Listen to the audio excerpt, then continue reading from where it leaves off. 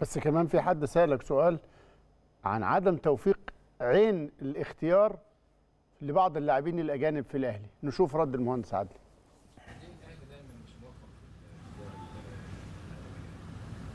ناخدها واحدة واحدة. دايما بيبص اللعيبة الأجانب اللي بره في الدوري المصري مثلا. لما يجوا الأهلي ليه بيتغير مستواهم؟ طيب ما تيجي نتكلم وناخد أمثلة. يعني فيليكس ما كانش موفق؟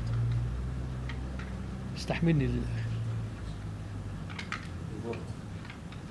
جيلبرتو ما كانش موفق فلافيو ما هو ما تقوليش بس استنى بس استنى بس. فلافيو ما كانش موفق موفق. علي معلول مش موفق.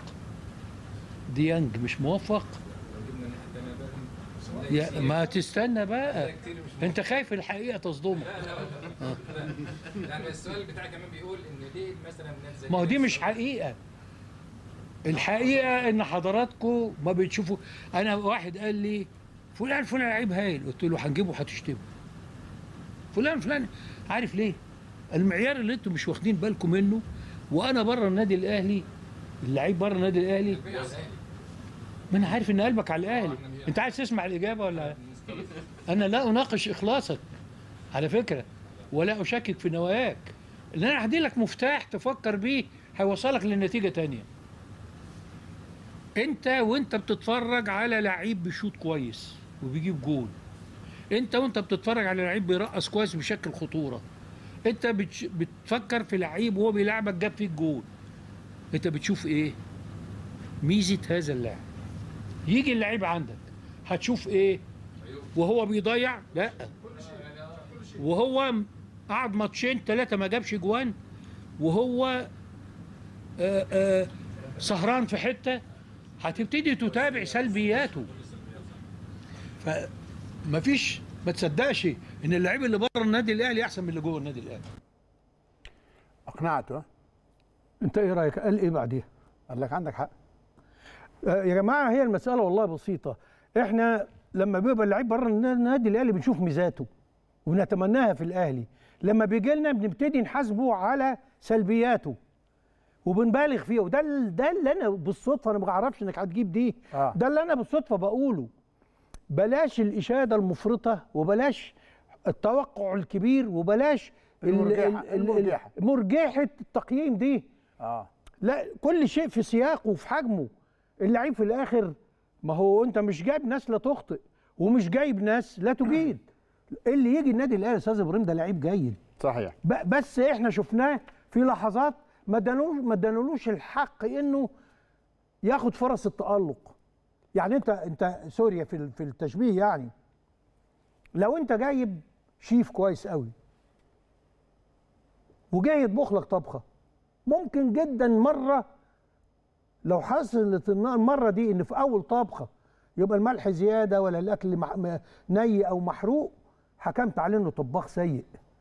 لكن لو ادالك عشر مرات وجبات هايله وفي النص جت واحدة هتبتدي تستحمله لحد ما تيجي التاني هنا هنا. آه. التقييم الت... انت اخترت صح. انت ما اخترتش غلط انت تابعته.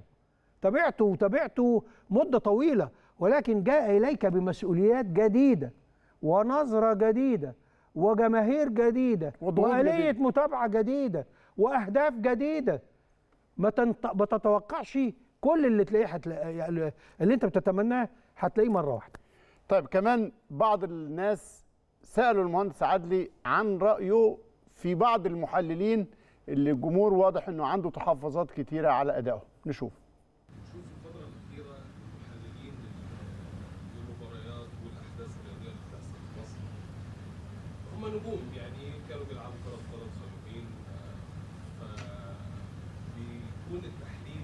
من حسابات شخصية أو بيكون في بعض القنوات. بدون يعني بغض النظر عن الأسماء يعني بيتطرق لأمور ملهاش أي علاقة بالرياضة للأسف الشديد اللي بتقوله. ده كلام صح.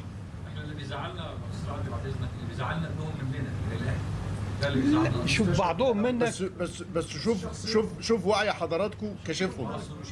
ده اللي أنا خلاني بقول إن جمهور الأهلي هو الحارس الأمين عليه. إنه قادر يفرز. الكلام ده سببه إيه؟ يزعلنا إن إحنا بنتعاير بيه اللي هو 17 سنة لحد 25 30 سنة. يشوف إن ده نجم كبير قاعد شافه بيلعب أو بيتضايق منه صدقني. بيتضايق منه بس بيأثر. وممكن بيكون ده دافع للأندية الثانية إن هم ياخدوا كلامه. هو ده بيستغل مش عايز مناقشه طبعا. ده بيستغل. لكن أنا بقول لك الرفض الجماهيري لهذا النوع من أنواع من يدعي. شوفوا الناس دي اللي كانت بتسأل عايشة في الإمارات لكن متابعة للشأن الرياضي والكروي في مصر بدقة لدرجة إن هم قادرين يفرزوا وقادرين يعرفوا وقادرين يفصلوا مين بيعمل كده ليه. فدي رسالة لكل السادة المحللين ومقدمي البرامج ونجوم الكرة السابقين إن الجمهور فعلا واعي جدا مدرك جدا ما بيضحكش عليه.